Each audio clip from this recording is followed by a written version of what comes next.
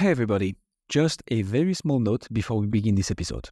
Our guest Justin has shared with us an ebook about in house banking that complements this episode.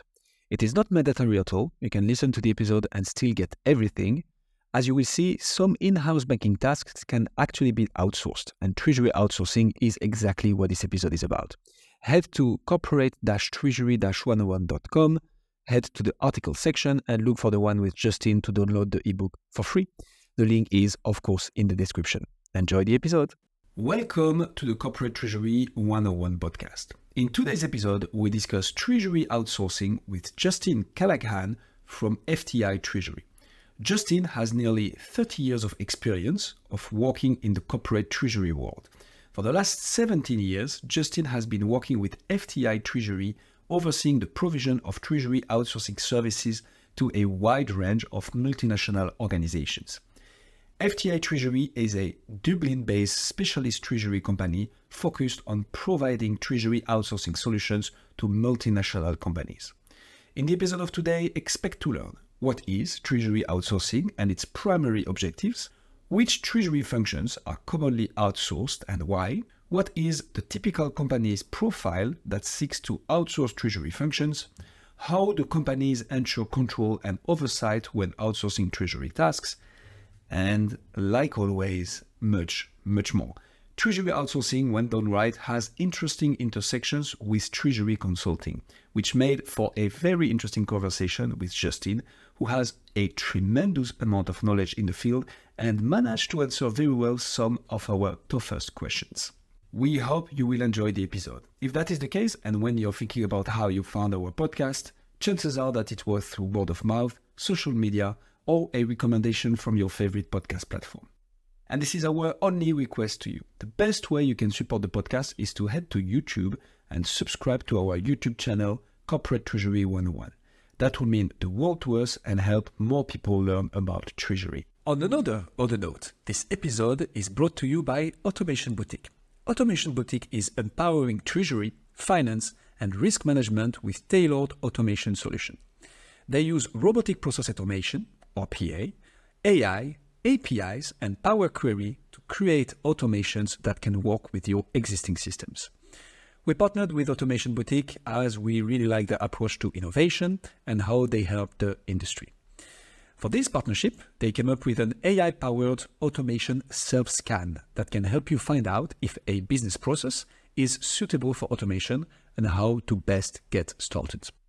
It is totally free non-intrusive and only takes about 15 minutes. What's great is that the report you will get from the scan helps you determine if the benefits of the automation outweigh the costs. If you want to have a look, head to the link in the description or to automationboutique.com slash corporate treasury 101. And with all that being said, please welcome Justin Callaghan.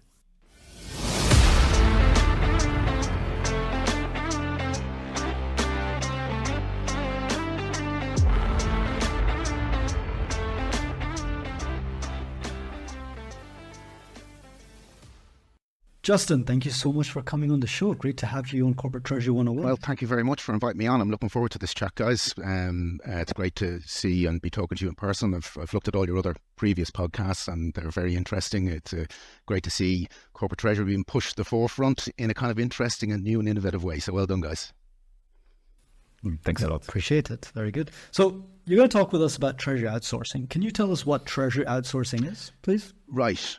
So I hope you weren't hoping for a, a kind of a one-line answer to that, guys. Um, uh, so not at all. Um, uh, treasury outsourcing has really changed a lot uh, over the years. Um, I've been involved in this business in one way or another for the guts of 30 years. Um, and uh, the evolution of it has been really, uh, really interesting. So, like in its simplest form, treasury outsourcing, as with any outsourcing, is kind of the outsourcing of a specific treasury process to a third party for operational management.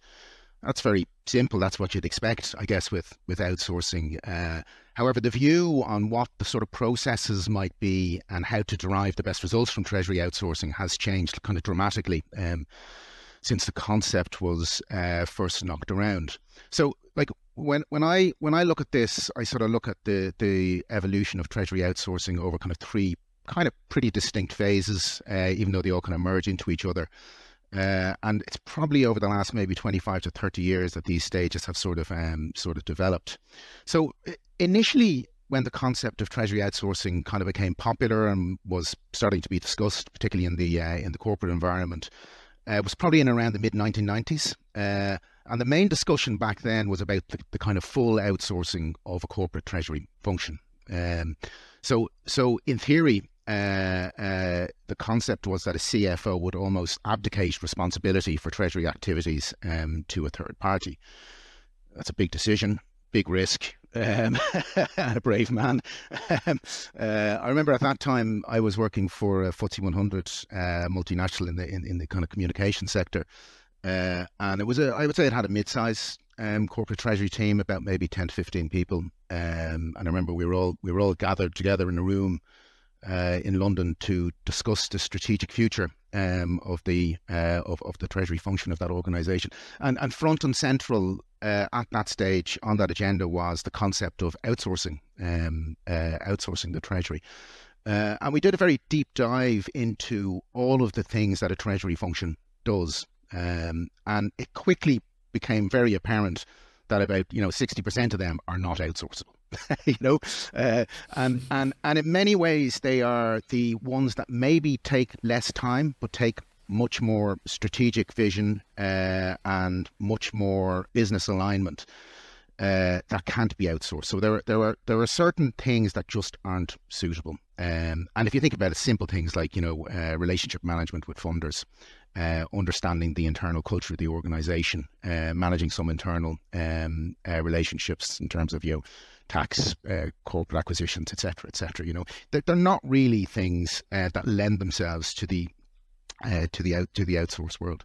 So, so within that context, we as a group then uh, drew the conclusion that you know this concept of full treasury outsourcing, having no treasury function, uh, and outsourcing the whole thing probably isn't isn't really a runner for that organisation. That and the fact, of course, that we would have all lost our jobs had we decided that uh, made us believe that it wasn't the right decision. It's a bit of a conflict that you were making the decision. exactly. Um, uh, but but but but in fairness, like that concept of the full outsourcing, it actually didn't get legs. Really, it didn't run um, at all, and it's for those for those particular reasons that uh, that I've outlined. Um, uh, that it sort of it very quickly fell by the wayside. Uh, it was kind of a buzzword, and I'm sure there was a CT 101 that was on fax or telex or something back then that um, had similar discussions, and, and they probably they probably reached uh, they probably reached that conclusion as well. That, that that is not a format that's gonna that's gonna kind of work. So if I if I think about the next phase, then uh, uh, which is probably from the kind of the late '90s into the early 2000s, um, that con- concept of outsourcing was actually a very successful one from from both a corporate and an outsourced service provider um, uh, perspective, and it, it centered mainly on the outsourcing of treasury activities with, with, within tax-driven structures. Uh, so the classic examples would be the you know the the the, the kind of Lux uh, based structure or the Irish based um, Treasury Centre um, structure. Uh, and and those sorts of uh, tax based uh, financial company uh, structures. generally, they were a, a, particular vehicle, an SPV in many cases, um, which had some form of capital and debt hybrid funding accompanied with kind of an intercompany loan portfolio parked uh, parked within them, and and that is a that's a nice ring fenced set of uh, treasury activities that lends itself nicely to be outsourced. Uh, the other um, obvious thing with any tax structure is that it is generally required to be uh, managed, maintained, and operated within the jurisdiction um, of uh, tax benefit. So so, so there was a lot of uh, activity in that space, uh, whereby you know a multinational company would establish um, financial company to provide specific treasury uh, related, generally intercompany lending style activities. Uh, and those were very popularly outsourced, uh, particularly in into Ireland, into Dublin, which became sort of the the centre of treasury outsourcing um, throughout the kind of late nineties and and the two thousands. What's SPV? Uh, sorry, special purpose vehicle. Um, but but but in well, in general, it is it is a, a company that is set up specifically to undertake a limited range of activities. So, to give you a simple uh, simple example, is is is if uh, you establish a company and let's say you put in uh, fifty million in capital uh, and you leverage two hundred million in debt into into a specific singular um, uh, uh, finance company, and then you use those funds to lend intercompany uh, around your group. Uh, then you, will find that all the interest flows coming into that uh, entity that you've established from on an intercompany basis, uh, and obviously there will, in many cases, be a tax deduction for that uh, at, at, at, local source, and then uh, you will be taxed at a lower rate, perhaps where you're established. So that was the the the kind of the, the kind of model that would have been in place back then. Now, it should be said that with BEPS and uh, ATAD three and all all these um, uh, other advances in in tax legislation, that those sort of tax structures are gone now, right? So it's not really a model that is uh, at the forefront. But but at the time, it was very popular, and it was very popular to outsource uh, those particular sort of types of types of arrangements. So if you think about it now, what you've got is a bundle of service providers that have built up a skill set in in particular types of treasury activities, right? Generally speaking, kind of intercompany style um, activities, uh, managing loan portfolios, managing debt, stuff like that, right? Um, and it is a body of work that sort of kind of is very distinct and easily done on an outsourced basis because it can be ring fenced and you can put parameters around it and you can define sort of how uh, how that how that how that should be should be managed. So then we reach kind of late two thousands, uh, early early teenies, I suppose, uh, and uh, the treasury outsourcing market kind of matured, and, and, and a number a number of things happened. Um, uh, if you think about what we discussed there previously in terms of uh, those sort of tax-based structures, they are treasury activities, but they're what I'd refer to as not very active treasury activities. So, so in other words, you know, you might get a, a bunch of debt and capital in, and then you might lend it out on an intercompany basis. But like then it just sits there, right? It's like core lending. You're not doing cash and liquidity management. You're not managing FX. You're not doing any of those sort of daily daily chores. So, so whilst you've got a you've got an infrastructure in place that can do a lot, it's actually quite static in its nature. So then, as the treasury outsourcing market matured, kind of a, a number of key things happened happened Firstly, the kind of service providers who were relying solely on the tax structures, they, they, to be honest, very often didn't have the relevant corporate treasury skills to provide the kind of level of add value service expected from clients. Uh, and this meant that a lot of them exited the market, to be honest. Um, particularly the international banks, who would have been big players in this market, particularly around those tax structures. Uh, and they found that the outsourcing model, which is effectively a professional services model, uh, didn't sit well with the kind of traditional capital driven business model of the banks. Uh, so a lot of those banks exited this market, which left a lot of clients, to be honest, looking for a home. Um, so it kind of left a gap for service providers such as us, FTI Treasury, uh, who had corporate treasury outsourcing as our core business, right? Like that's all that we do from a business perspective, whereas the banks were kind of using it as a kind of an add-on, um, uh, an add-on service. Uh, the other thing that happened at this time, which is which is probably more relevant and people will be able to kind of probably visualize a, little bit easier, is is that um, uh, the ability for outsourced service providers to provide kind of a wider range of value-added services uh, exploded, uh, really due to uh, both advances in technology and kind of general advances in the uh, in the treasury world. That coupled with the kind of the CFO, CEO, board expectations of what a treasury function should do, um, you know that that broadened rapidly and it started including things like you know group wide cash reporting, forecasting, um, an element of AP and AR management, uh, global cash management, uh, and if you think about it, these are all processes that kind of outsourced service providers were somewhat used to managing in the tax based structures, but they could now leverage on them to provide kind of true value added services uh, to clients on a on a, on a global basis. Um, so so that evolution brought us to the kind of the third phase, and, and that's kind of where we are now, um, to be honest. So so now as as, as the kind of market has fully matured, uh, we tend to define treasury outsourcing as kind of the outsourcing of global processes uh, which add value to uh, both business processes, so how things are done, but also the bottom line of an organization. Uh, and I think it's important that uh, more often than not, these processes are business rather than tax driven and provided using hosting technology, which can be, you know, rolled out on a global basis, which means actually the location of the treasury balance sheet is kind of almost irrelevant um, from the outsourcing perspective. From our perspective, it's the end to end delivery of a particular treasury process that's important, and where the sort of P and L element of that or the balance sheet element of that sits in the world is irrelevant. Uh, and as I said, that's all facilitated by this kind of concept of the cloud, hosted technology, and obviously you know increased um, uh, uh, increased ability in terms of global banking and liquidity structures and the likes. It's a bit of a bit of a long answer to a short question, a, gents. Yeah, yeah. it's not a one sentence answer, that's for sure. So at least it wasn't treasury outsourcing when you outsource treasury functions. Stop. That would be the worst. so, so, so let me see. Let me hear if I get that right then, because uh, just to summarize a little bit, right? So what you're saying is that there was this development over the three waves of treasury outsourcing, right? Uh, in the start, there wasn't really a treasury outsourcing thing. People would look at it, but they really felt like they couldn't uh, because the way treasury was as an operation, the infrastructures behind it, and whatnot. In the second phase it was being offered thanks to tax incentives in locations such as Dublin and Ireland, uh, as general, let's say. Um, but the banks were the really the ones that were doing it. Um, they eventually realized they don't want to do it anymore, and now we're in this third wave where we have these third-party providers specialized, such as FTI, in treasury outsourcing activities. That's correct.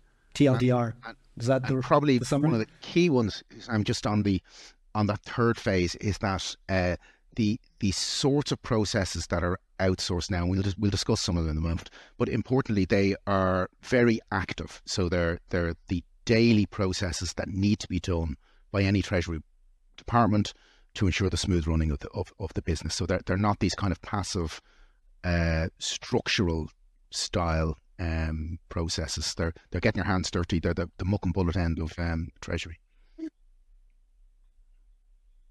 So What's the difference between a treasury outsource company and a service center? One of our first guests that we had on the show was Bart Hendricks, who was talking about service yeah. centers specifically.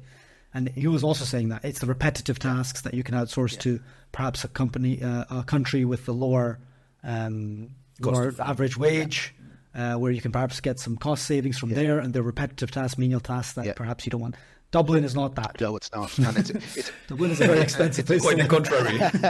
well, well, no, that is a good question, and we, would probably come to that further on in this conversation. But, but uh, you're right. So, so a shared services centre uh, tends to have uh, uh highly replicatable tasks, um, uh, which are uh, administrative in in nature. Um, and there is some skill set obviously required, particularly around the, the accounting elements um, and the likes.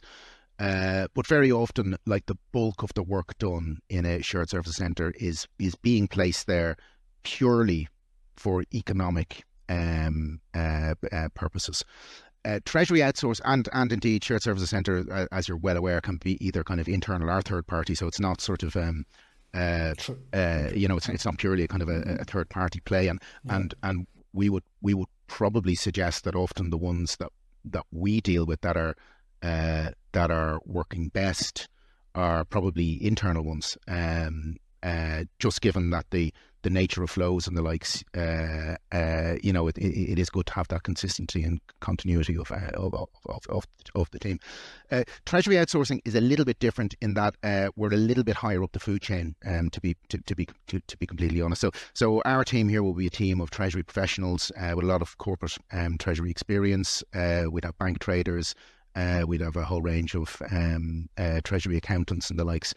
So the expectation here is that we are able to undertake um, very well defined processes, but we're also able to have uh, an advisory input or a strategic input into those uh, into those processes, and all of that is done within a very tightly defined uh, risk framework that we would agree with um, clients, because obviously you don't want some guy going off and you know thinking he's Gordon Gekko or whatever and, and trading away. So so so so we have very well defined uh, shorting the housing market. Well, that's exactly that's exactly it. Yeah. So so we we actually spend a lot of time creating that framework up front, and we have. You know, we obviously have our internal framework. We're an SSAE, um, SOC 1 tested um, environment. Uh, we're a regulated entity. So, you know, we, we you know, we, we would have lots of sort of in, in, internal um, controls. But then at the end of the day, you also need to have a, a reflective risk appetite of your clients, right? So, and, and that's a, uh, that's something that's done on an individual individual basis, um, uh, client by client. And you know, we, I, I guess where we can help and slot in, or any service provider can help and slot in, is that you know we're lucky enough to see this across a whole range of clients, so we can make suggestions, you know, and then uh, our clients can kind of pick and choose what they feel is the best suited to their um, to their internal culture. But to, to, to answer your question straight, we we would be. Uh, providing uh, a little more from a, a, knowledge well perspective probably than a shared services centre um, and that flows both in terms of helping people with uh, you know day to day um, uh, activities and also the longer term sort of strategic aspects of banking relationships, banking structures, mm. and stuff like that. So, what are, can you break down those treasury activities and tasks that would perhaps go towards a treasury outsource? Sure. Yeah. Company and versus service centers. What are those treasury tasks? So, APAR, you said, for example, I've heard that in both now. So is it elements of AP and AR that you're you're managing versus a service center? Yeah. So is it kind of so an overlap? So we is it Venn yeah no that's a fair question and, and maybe just to address that one directly before we talk about other. So so we we look at treasury processes. We we are not a shared services provider, so we're not yeah. processing invoices or you know allocating exactly stuff like that. Yeah. So where we would cross over with APA and AR is in terms of working capital management. So, mm. ensuring uh, sufficient liquidity, ensuring sufficient currency, uh, uh, in many cases, managing a forecasting element, which obviously requires uh, ERP integration and uh, AP and AR information integration. So, so it's more at the high level oversight, funding, liquidity level where we would look at um, AP and AR. But like I suppose at the end of the day, that is the oil within the business, right? Uh, the processing of the invoices and the likes, it needs to be done, obviously. Um, 100%. the result of that is a treasury result. It's a it's a liquidity risk, mm. it's a currency risk, uh, in some cases, it's a credit risk. Um, and uh, the other space that we would play in in terms of helping people is is defining uh, the best way to meet, for instance, your AP requirements. So, uh, you know, we'd often come across clients where you know, by no fault of their own or by accident, they're um, processing uh, what should be sort of ACH low value payments via wire. It's costing a fortune, so we'd help them redesign that process within their uh, within their ERP system and stuff. Justin, that's um, that sounds pretty much like consulting work. It's not. It's like it's more okay. We have the knowledge. Yeah, yeah. I mean, which is not a bad thing. Just, just to be yeah. clear, coming from a consulting background, yeah. but it's more like bringing knowledge from what you've seen with other clients and servicing other clients yeah. into a new company rather than just taking a kind of task there that is, is done there, daily or there is an element defining the strategy. Yeah, no, there, I mean, yeah, it's a fair comment. There is an element of that, right? And and we do have a kind of a consulting arm to our business as well. But like, but like, I wouldn't. Th- that's the add value element, perhaps, right? Uh, mm-hmm. Our bread and butter, which I'll talk you through in a minute, is doing stuff. Um, you know, we get our it's it's it's it's, it's, it's ouch. oh now ouch oh, the consultants. oh. Consultant, consultants tell you stuff. We do stuff. Oh come on. Clipping that there is clipping that there is posting that there is there is some truth.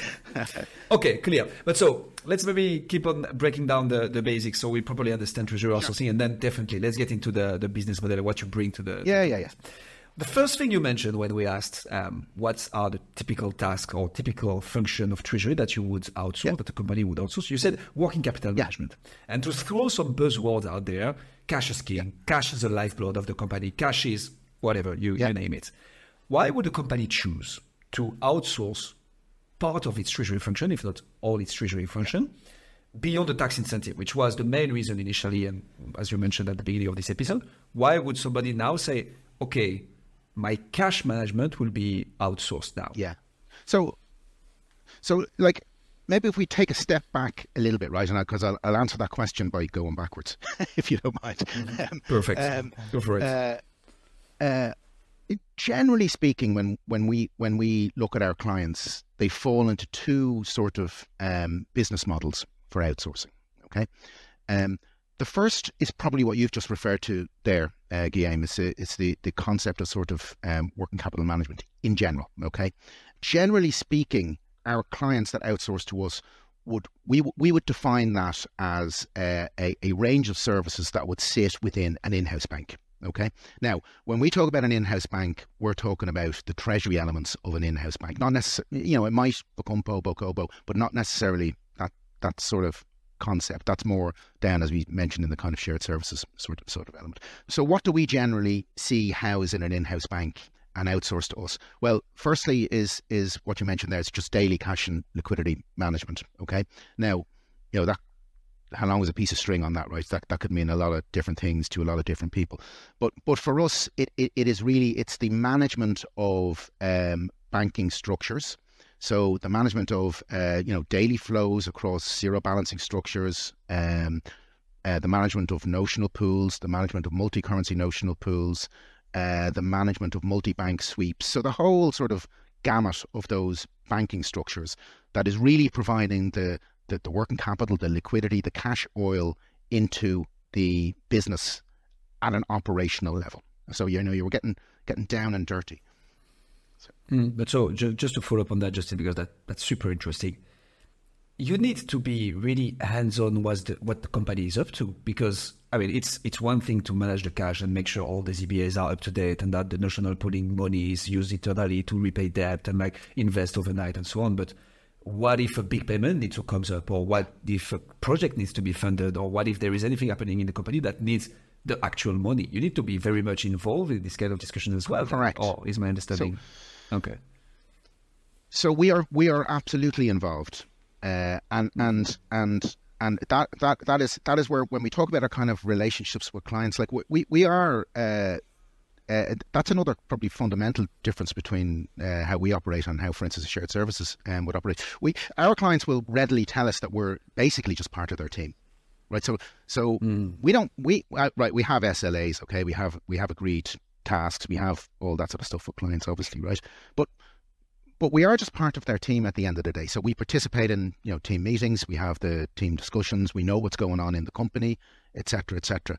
Uh, and in addition to that, we bring structure to the sorts of things um, that you've just discussed. So, so I mentioned I mentioned that one of the things we do is daily cash and liquidity management. You know, managing all those flows and and and, and the likes. And you know, you can imagine all of the administration right that goes behind that because there's intercompany loans to be managed. There's intercompany statements, bank recs. So we do all that stuff. So it's it's easy to say we manage cash pools and make it sound like a, you know, it's a five minute job in the morning, but there's, there's, a, there's a little a little bit more to it, as you as as, as, as you're well aware. One of the other things we do.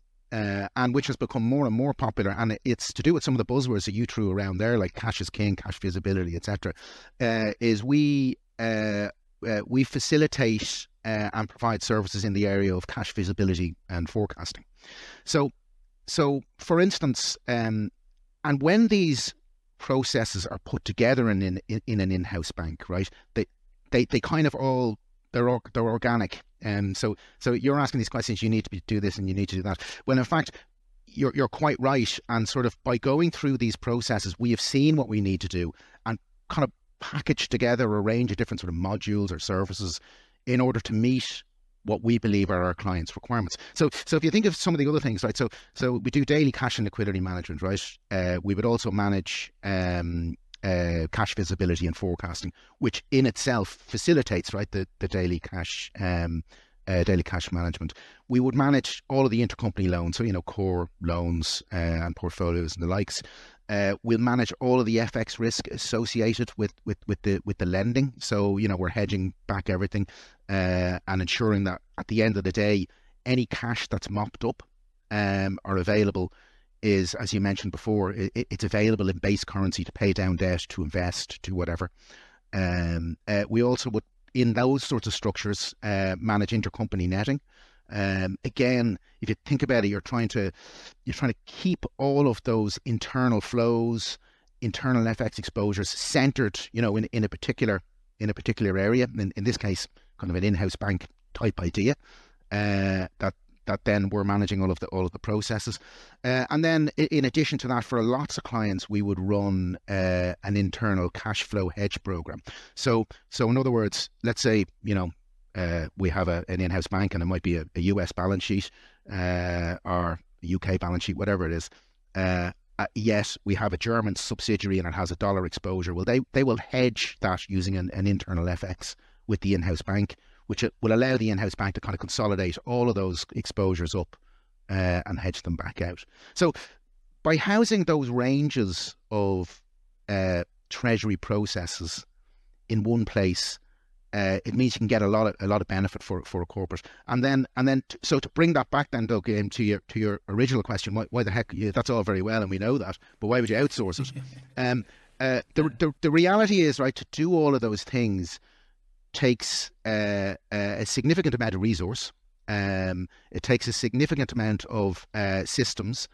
Uh, really importantly, it takes a, a, a lot of system integration. Um, so data flow, uh, trade flow, um, cash flow, information, you know, it, it all needs to be consolidated, even market data, accounting output, it all needs to be um, consolidated up. And it takes a lot of um, implementation knowledge, right?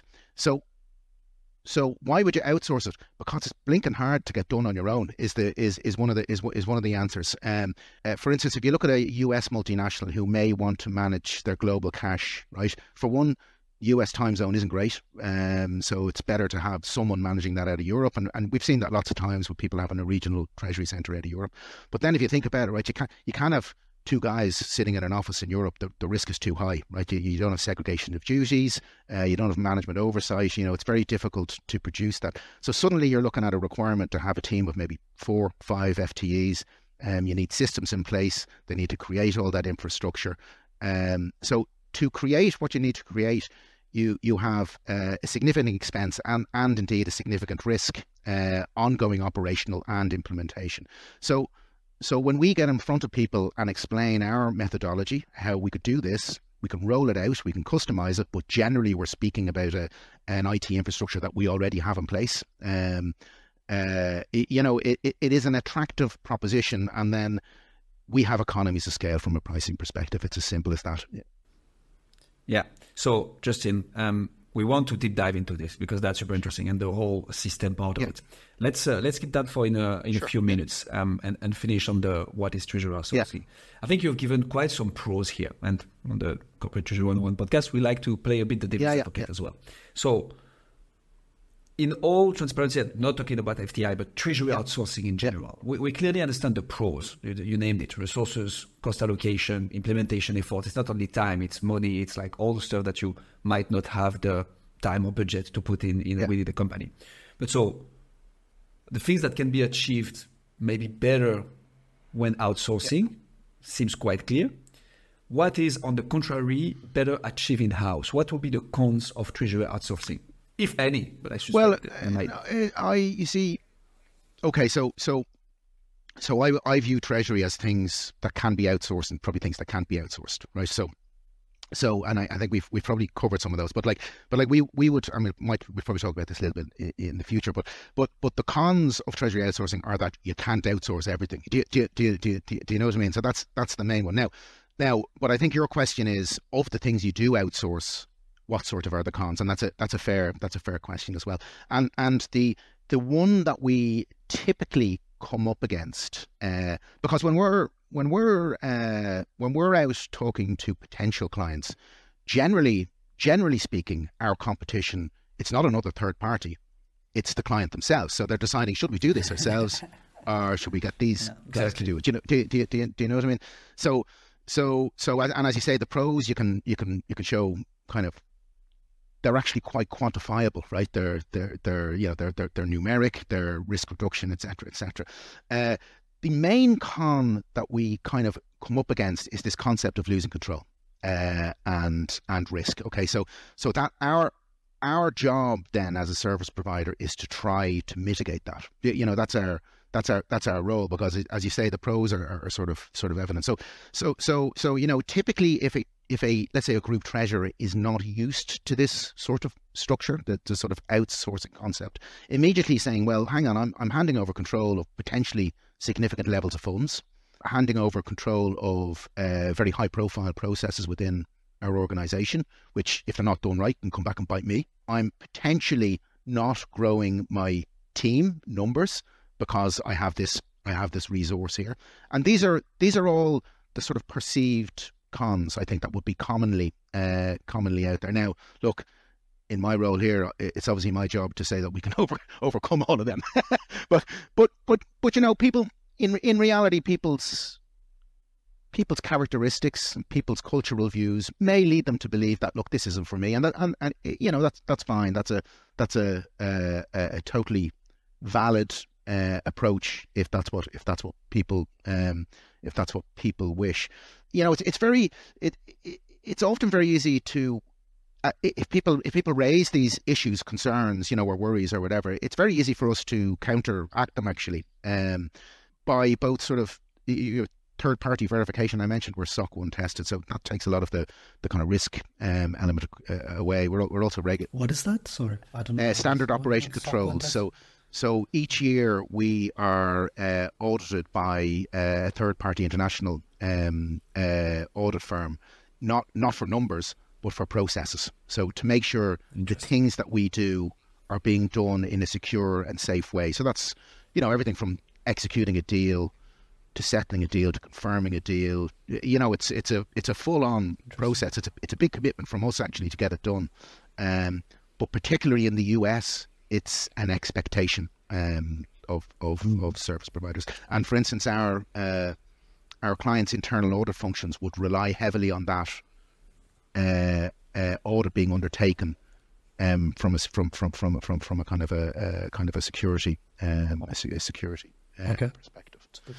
So that's interesting because when my business knowledge, which is limited, very very much so, um, you you I understand outsourcing.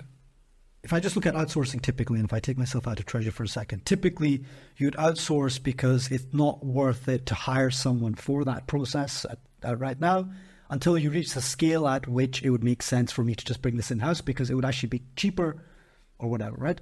But you're not. You didn't say that. You didn't say as of a certain size. And I think we've spoken as well beforehand. You you work with big companies yeah. as yeah. well. So why is that not the case with Treasury so uh, why is scale not the, the well, scale? scale I, you see, I think, and here here's the rub of it. Perhaps um, one person can process a thousand invoices, right? Um, but you need ten people to process ten thousand invoices. Okay. Now, in Treasury, one person can deal a hundred million dollars, right? But that same person could do 10 billion. so, so, so, there's a, there's a, there's an element of the, the value gets bigger, right? But the volume doesn't necessarily get bigger. Now, it, it doesn't, you know, I'm being a little bit facetious. Obviously, it, it, it, does, it does. You can be in more countries. You can have more FX exactly, to manage. You can have exactly, and, and you can have more currency pairs. But it's not that exponential. You've got fifty thousand invoices rather than a thousand, right? It, it goes from you know, hundred bank accounts to two hundred bank accounts. You know that sort of that sort of thing. Um, mm. uh, the the other the other the other thing is that what what we do, uh, our clients become very comfortable with it. Um, so if they, for instance, keep on growing, they f- they find it difficult to justify changing um, what is already working. Um, to be blunt about it, yeah, don't fix um, it isn't broken. Like our our, I think a, uh, you know our clients always tell us if we knew about outs, we don't we don't understand why more people don't do this. Is one thing they say, uh, and the other thing they say is, well, the other thing that always happens, and we love this, is that often um, uh, our clients, you know, the, the the group treasurer will have an assistant treasurer, and the assistant treasurer will then get a job somewhere else as a group treasurer, and it's one of our best sources of clients. it's the it's it's marketing at its at its peak, you know. Yeah. Uh, so well, that means your services you provide. Well, that's you know that's what we read into it, you know, and we, and we do we we do go out of our way to get feedback on that because we we need to we need to be providing. So it gets back to that concept, right, of uh, the added value service that we talked about earlier on. Um, we need to keep on pushing forward, you know, and finding the new thing, you know. So so I mentioned, you know, like for instance, uh, we we would have been one of the first outsourced providers to provide a, a turnkey netting um, solution, intercompany netting um, solution, uh, and that's proved really popular with our clients because you know it's an easy rolloutable, uh, easily benefitable, and there's there's a definable, quantified financial benefit to clients of doing that, right? Um, we've also developed, you know, pretty robust forecasting and cash visibility processes. Um, again, using using third party tools, we'll, we'll, we'll talk about them in, in a while. These are things that are attractive, right? But if you look at if you look at if you like every year we'll do we'll do a review of you know all the um uh the sort of what's hot in treasury sort of um surveys that get done. So every year we'll do a review of them and we'll ensure that our modular services are tailored towards what the requirement is. Generally, we're ahead of the curve, but we just want to make sure we're, we're sort of we're, we're sort of there or uh, thereabouts. Right. I'm I'm also conscious of the fact that previously when we asked you what's what activities can be outsourced and whatnot, we didn't let you finish and, and give us a full list. So could you just like rant off what are the treasury activities yeah. that get done uh, that are outsourceable, sure. which ones are not, yeah. And maybe which ones go into the service center? Just because I'm yeah yeah no fair enough. So so so let's just be clear about that, right? Okay, so yeah. um, from an outsourcing perspective, in, in our business, okay, and and and generally speaking, on the in, in the outsourced world, which I have to say is is a not a huge world, right? Um, uh, there, there, it's it's a kind of a boutique, uh, boutique world uh, in which we in which we operate. Uh, I mentioned that there are a, a, bundle of services that sit within kind of an in, what we would refer to as kind of an in-house banking structure, and it doesn't, you know, that's it's that's just an umbrella term, okay? And and within that, uh, we would see cash and liquidity management, uh, intercompany loan management, FX risk management, cash visibility and forecasting, uh, intercompany netting, uh, intercompany um, FX uh, programs, uh, and then other other things like uh, perhaps bank system management, uh, bank fees management, spot FX, um, you know that those sorts of daily daily tasks where every day someone has to come in, you know, they need to see what the position is in every currency, they need to position that, they need to invest it. You know, it's those sorts of daily management of the group oil um, uh, that we that we would we would often manage.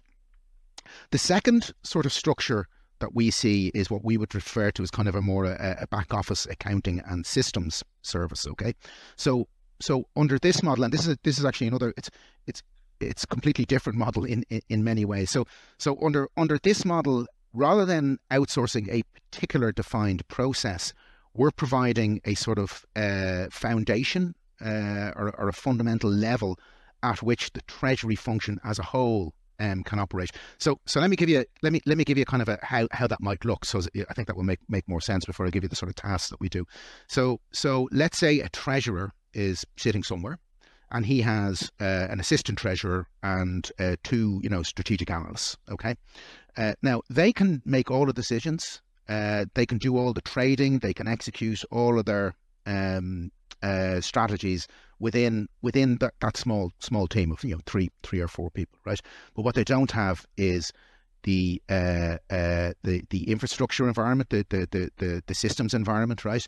Uh, they don't have the backup in terms of people who can do the settlements, the bank recs, the confirmations, um, issue intercompany uh, statements, all that sort of stuff, right? And they also don't have the technical accounting support there.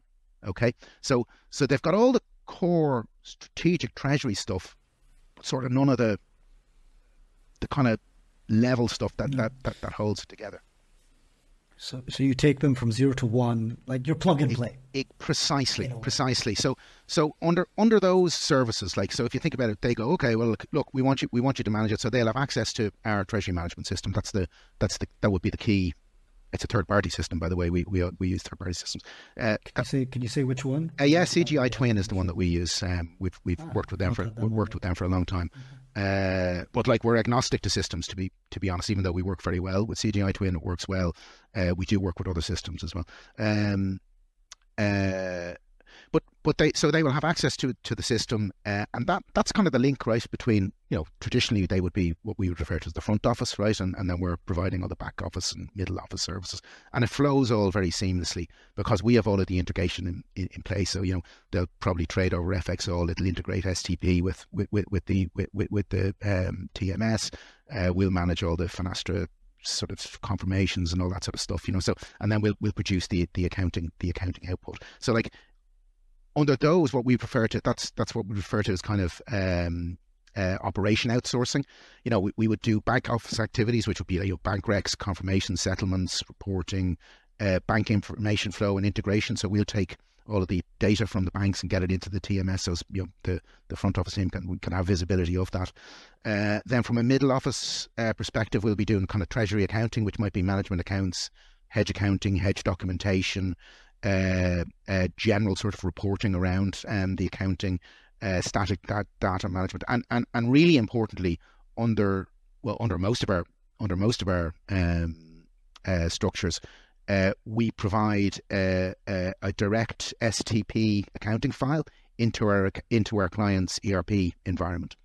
So you know the TMS will produce uh, a GL mapped accounting file, uh, which will flow just on an SFTP basis um, straight into you know whatever it is. Uh, generally, SAP or one of the big one, one, one of the big accounting um, systems. So it's kind of very it, it's very seamless um, from that uh, from, from from that perspective.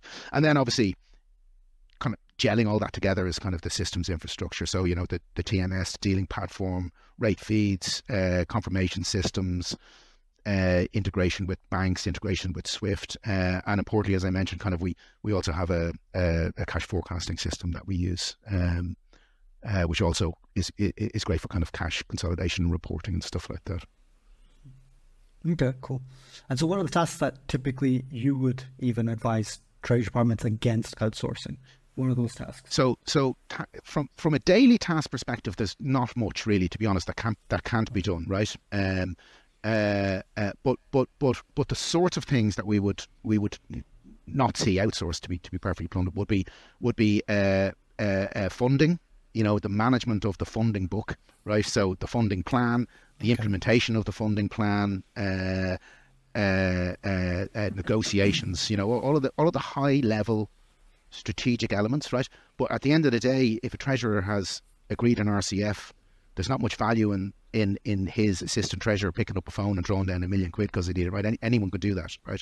So so that's you know the the kind of the daily oper- operations of that can be done pretty pretty simply on on, on an outsourcing on yeah. an outsourced basis. But the par- partnership side of things is the part that you wouldn't relationships, the outsourced uh, partnerships, internal culture can be important, right? Um, so Just. yeah, uh, understand uh, uh, and, and and strategy development and risk appetite they are individual to any particular organization. Um, you know, we it can often depend on the type of organization. You know, uh, I mean, m- most of our companies are, are listed companies, but we do deal with some very big privately owned companies. And, and generally speaking, they probably have a little more tolerance for risk, right? Because they're not they're not reporting to the market and stuff like that.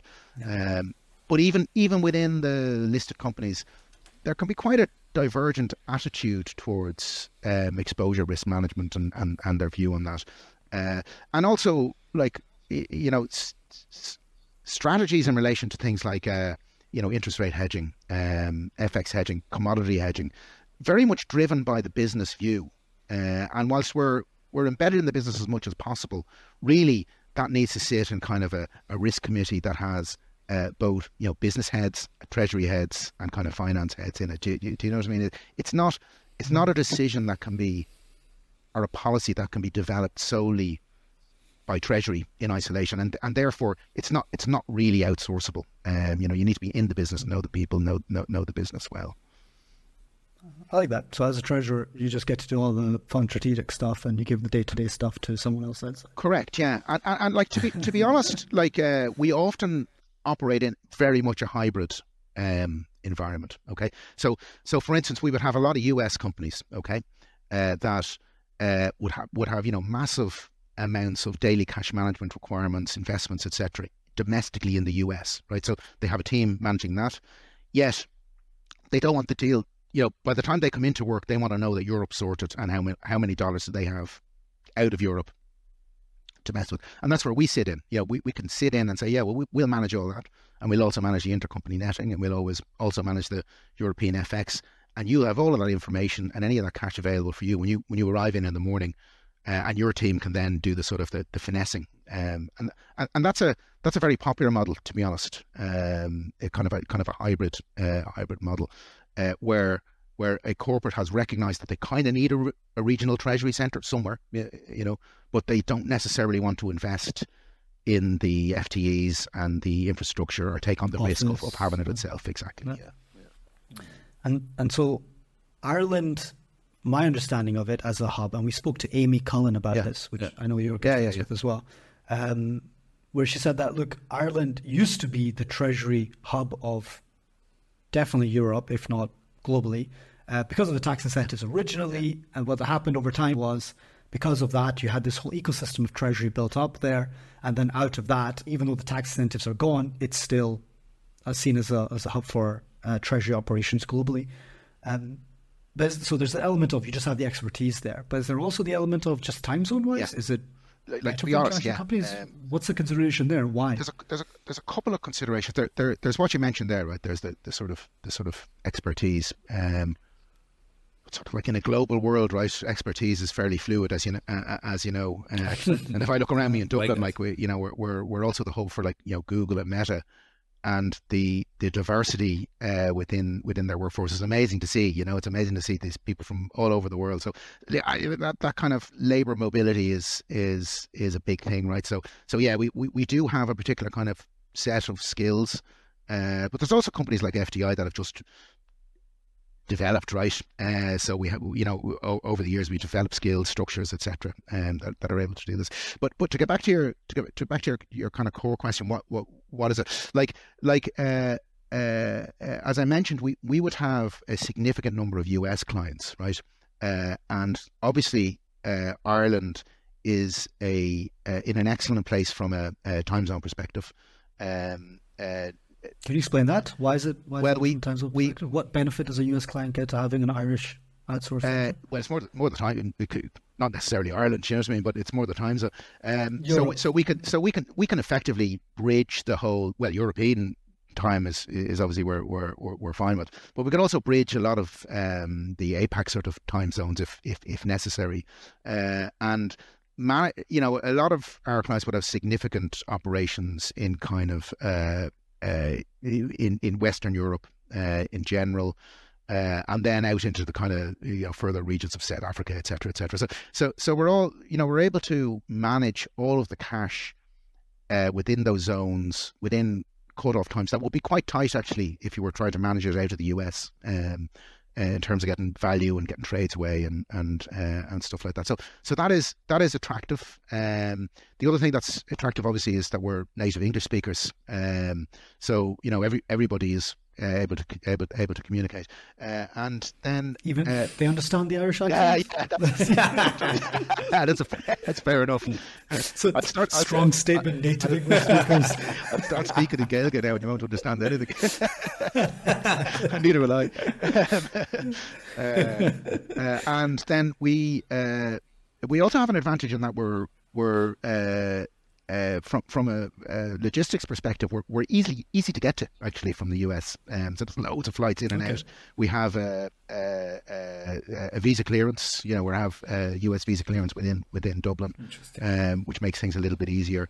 Uh, and uh, Dublin's a great place to visit, so why wouldn't you want to have a service What's it? Highest number of pubs per capita Yeah. or something like this? Isn't it something like that? Uh, So yeah, like Super cool. yeah, it's it's it's uh, it has evolved, though I have to say. It's it, and and and your initial comment in that it's somewhere where people look to when they're looking at these sorts of things is because it's where people have done it before, right? And who wants to be Yeah.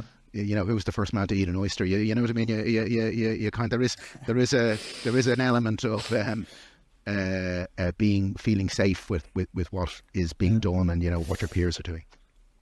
I mean, there's this. Uh, I mean, in that episode we did with Amy, we we brought up a quote from uh, Tim Cook at this time as well, which he was saying uh, once on a conference, which was that um, everyone thinks China's a cheap place to manufacture iPhones, but in reality, it's not that cheap anymore at all. But what it is is if you throw a, a shoe into a crowd, you'll hit three milling operators. Uh, which uh, in in the UK or Europe or wherever else you, Doesn't happen. You, you would Yeah. it doesn't happen.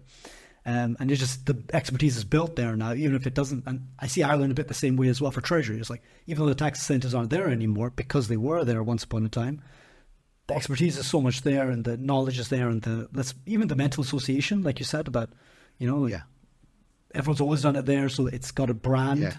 as a as a treasury hub.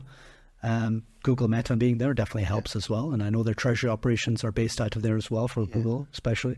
So these kind of things, um, I mean, all like it's, do matter. it's funny you should say that because, like, in addition to that, we we we we we, we would have a lot of the uh, European hopes for the banks here as well, and and, and that again, you know, it's sort of a so you know our, our clients, our clients, generally speaking, they're very large global multinational organizations. And and whilst we we we deal with probably maybe fifty or sixty different banks, like like like the vast majority of our um, uh, interaction with banks is probably with a handful of banks. You know, the, the big global banks that you can probably list off. You, you know, uh, and they all have a major presence here, which means that you know if we're working with a client on a particular structure or managing a particular structure, they're really just around the corner. We know them. Uh, you know, it's a it, it, it makes for a, a, a, an environment that works well. It's it's a what's what they refer to as kind of an ecosystem. You know that you know everybody can thrive off each other. I think. Justin, thank you so much for this. I think we have a very strong understanding now of what treasury outsourcing is and how it functions. So let's uh, deep dive into how it actually works for the corporate, but also for the treasury outsourcing uh, company. So, starting by the beginning on the corporate side, how does the transition uh, happen when a company chooses to outsource some treasury task? And typically, here I'd like to understand what's the business case in the first place to get treasury outsourcing because you, you mentioned quite some um, economical value out of it. So I'd like to understand that. Like, how do you enter into contact with a company and say, okay, I'd like to consider some treasury outsourcing, or is it a good thing to do? And then how does it typically work? Like, okay, we need to outsource this type of function, or do you educate them on what they should be outsourcing? Yeah. How does it work exactly? Yeah, no, that's a uh, it's a it's a, it's a fair question, and and and like to, to answer that question, you kind of I suppose we need to you need to examine why uh, a company would wish to outsource. What, what is the what is the thing that is making um, them, them outsource? Because because that will often drive how the interaction um, how the interaction would, would, would proceed. So so there's a number we see a number of sort of different elements to that, and, and, all of them have different nuances. Even though at the end of the day, it results in us providing some form of um, some form of service, some form of service to them. So, so if I think at the and these are in no order or sort of um, preference or, or, anything like that. This is they, they, they, one is as common as the other, um, but in many cases there might be some kind of catalyst um, for a requirement for a particular service. Okay, uh, a big one would be something like an acquisition or a spin-off. Okay. Um, uh, so if I think about uh, a client that we onboarded uh, recently enough, and they made a, a, a they, they were a very large um, US based client. They, they made an acquisition um, that all of a sudden massively increased their international footprint. Okay, so so now and and the the, the acquisition they the, the, the acquisition they made had a pretty good uh, banking structure in place with one of the global banks that was also a partner bank of that um, of that client, right? So so now they they've they've made this acquisition. They have a kind of a nice banking structure, uh, and they, you know zero balancing or currency pooling or whatever. And they're looking at it and they're going, well, right, how are we going to how are we going to manage this? Uh, you, you, know, so so they have they have a kind of an they have kind of a, an immediate problem um, that they need to deal with. Uh, so so so under those circumstances, what we can do is we can step in and say, well, look, we can fix that problem for you very quickly. Um, so that's that's. Do they know about it? Sorry, Justin. Do they know about the possibility of outsourcing treasury, or do you? How does it work here? Yeah. So that you look at the mergers and acquisitions news and uh, right. after those companies. No, it's a, well, well, well, well, we. We, we do try to uh, identify opportunities in, in that realm, but but int- interestingly enough, a, a very so so we could go out knocking on doors, right? Uh, and we could knock on a million doors and the chances of us finding some lad who wants outsource their treasury is, is, is reasonably low in fairness. so, so, so, so we focus on being known at the catalyst point. Okay. So in this case, right, um, it was a bank, a, ba- a, a bank said, well, you're struggling with this. Uh, you don't know how to manage it. We know these guys do that sort of stuff. Have a word with them. Now, they won't necessarily recommend it because they're a bank, right? But they, they will say that it is a it is a solution that you should uh, investigate. That's what that's that, that's what happened in this case. If you think about it, uh, and that happens a lot, right? Because if you think about it, um, let's say uh, a bank is pitching for uh, a global liquidity structure, okay? Uh, you know, zero balancing in forty currencies uh, across thirty countries and they've done all the maths and it's going to save this company you know 10 million a year and it's going to give them access to 300 million dollars and it's all brilliant. And the treasurer is going that's brilliant. I love it love it all love it all. Well how the hell am I going to manage it? Yeah?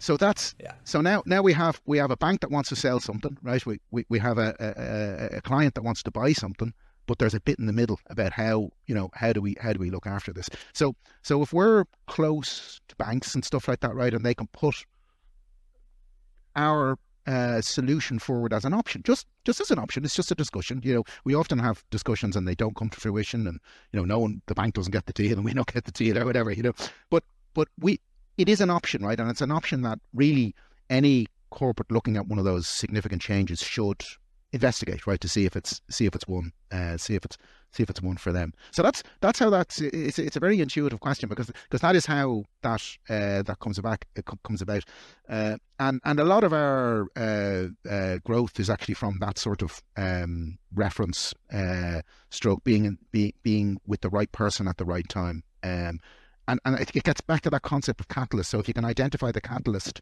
then you can see what is the who's the catalyst driver, right? And they're the people that you need to um, uh, they're the people that need to understand your potential um, potential solution. So I mean, we talked we talked about an acquisition there. So another another thing might be just the introduction of a new process. Okay, so so let's say a company wishes to uh, implement an intercompany netting process, and and again they're saying, okay, great, makes sense. We can the you know it, it, all adds up. We can see the benefit, but geez, we, we we just don't want the hassle of having to run all that process and manage all that.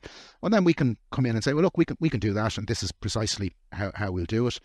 Again, very that's a very straightforward sort of uh, sort of proposition, uh, and then then there's also sometimes this isn't very often the case, but sometimes people are just looking for cost savings.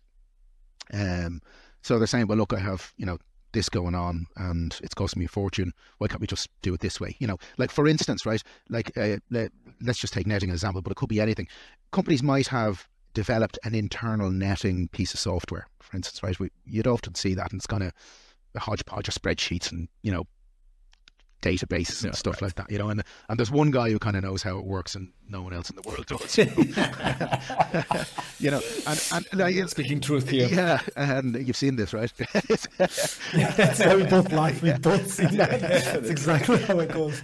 And when that person leaves, the, the two yeah, exactly. Our, our new treasurer comes in and recognizes the risk, right? And they go, well, look there's a better way to do this, and and you know, so so our our services become sort of obvious from that perspective, uh, and then and then another another sort of catalyst uh, for, for for wanting to outsource is um, uh, uh a resource issue. So, in some jurisdictions, it's virtually impossible to hold a full treasury team, and incredibly expensive. so so so really we're do you, you, remember I mentioned those services where we're providing sort of systems, back office, middle office, right?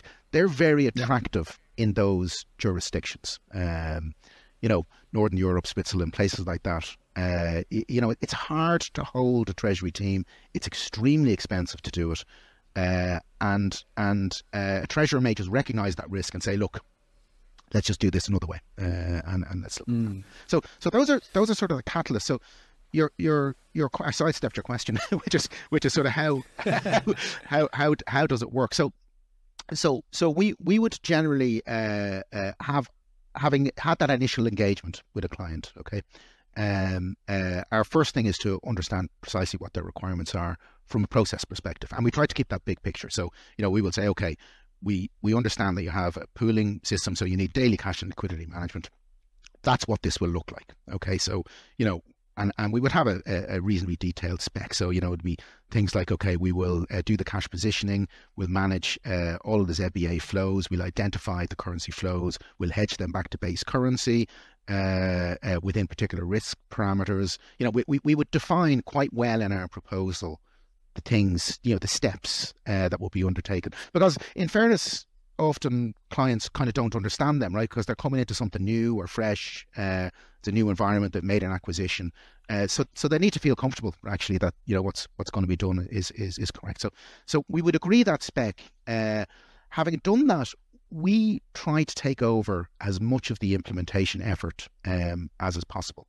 Uh, and the reason for that is is quite simple: is that we kind of know what we're doing, right? We do it all the time. Okay, so so us to integrate integrate uh, a ZBA structure, you know, to get all the bank flow information into our TMS, you do it in a day, you know. Whereas whereas if you're if you, if you were trying to do it yourself from scratch, you'd be looking for a developer for three weeks, and you know you, you kind of kind of would never never get done, right?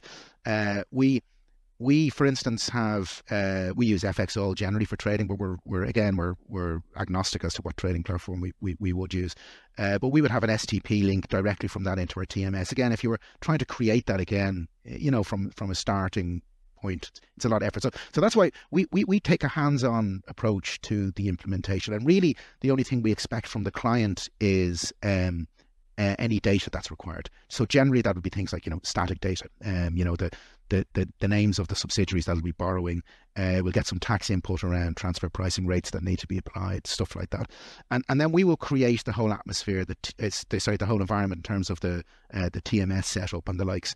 Uh, and then importantly, what we do is we agree a set of procedures with our clients, which which kind of generally outline what needs to be done when, uh, daily, weekly, monthly, um, etc.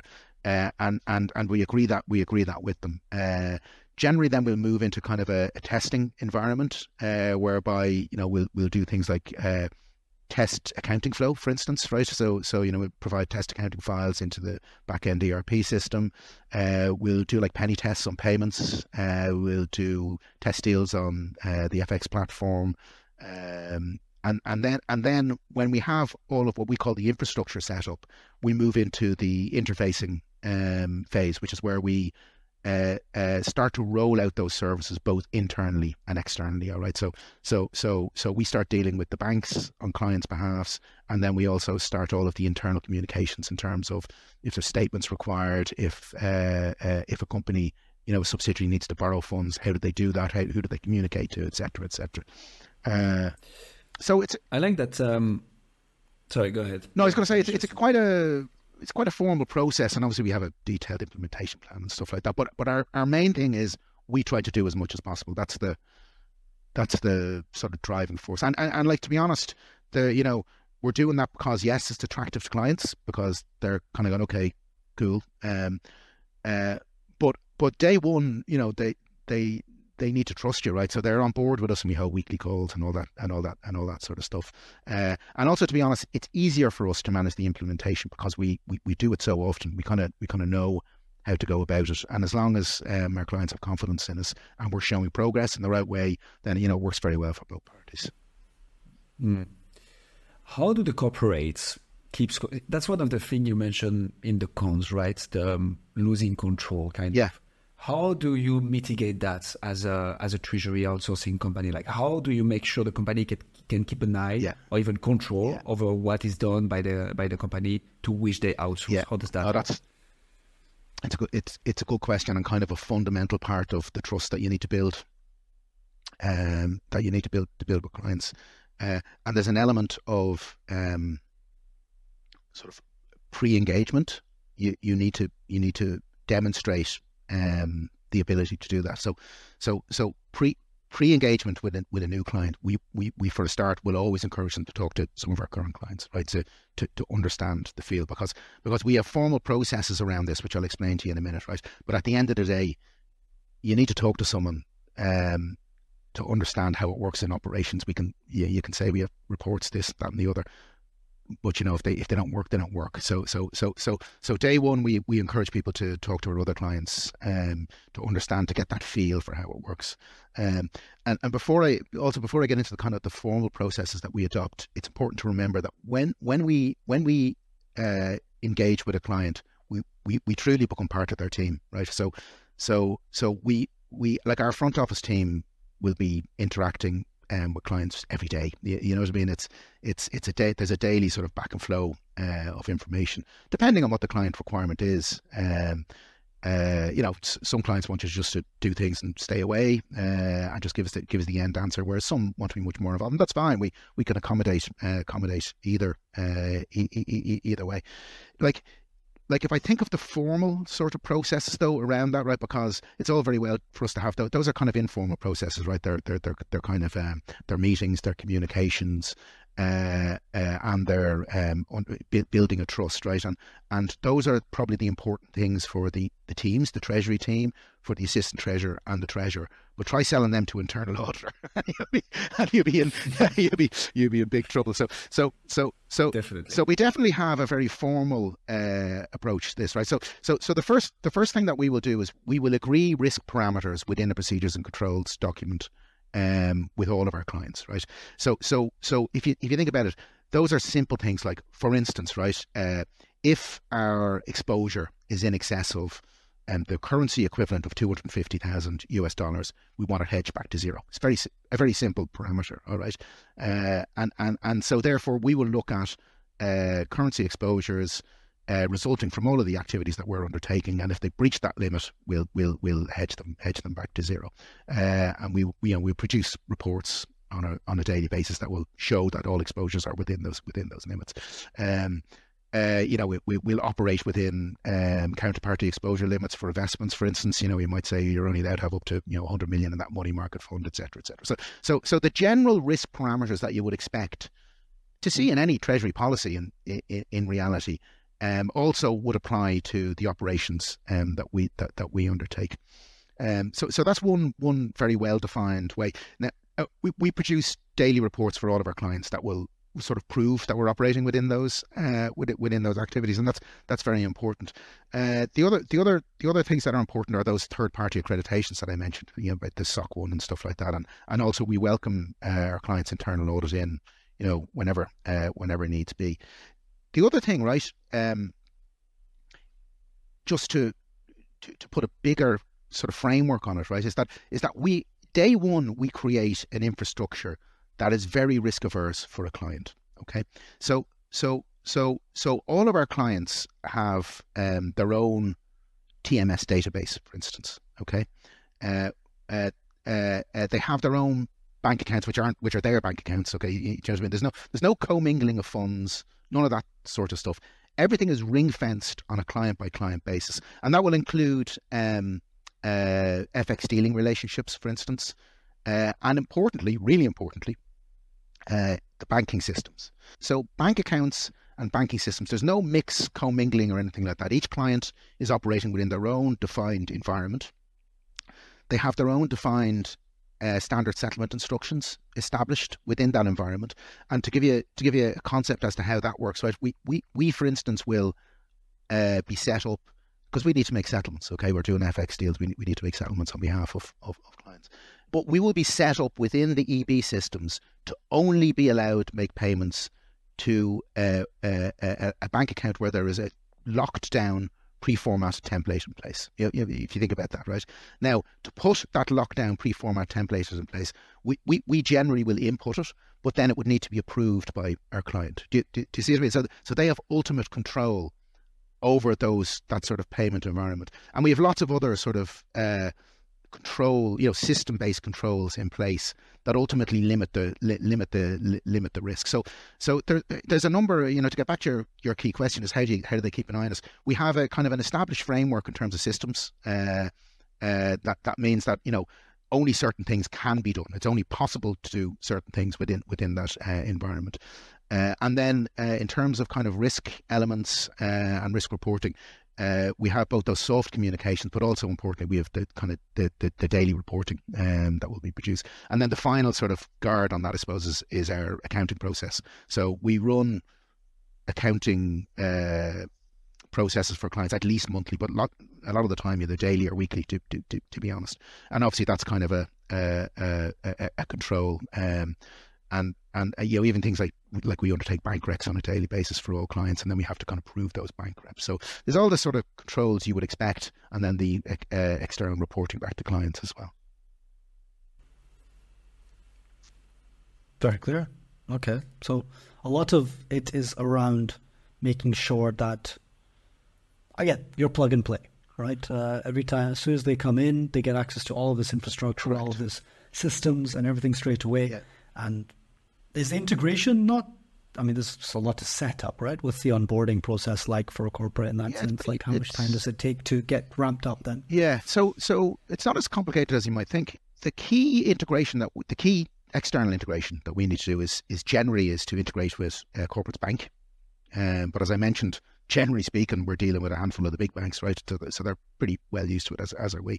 And then on the back end, reintegrate back into the ERP system uh, from a from an accounting perspective.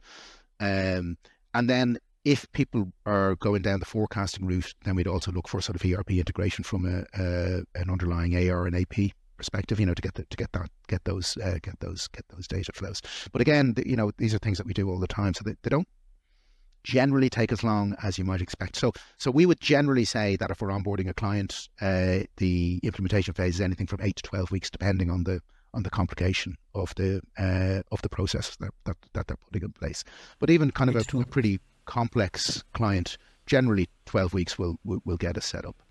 Uh, mm. Often our clients actually like to slow it down, so so we'll put all the infrastructure in place, but the kind of you need to have an internal change management process as well, right? You, yeah. you don't be scaring people off by you know giving them too too too much to bite off. So, you know, for instance, we might introduce uh, uh, just the management of of of the of the daily pools, right, and then layer on maybe netting at a later date, then maybe layer on some FX at a later date. You know, so so there are you know there there are kind of ways of softly softly um, progressing. Yeah.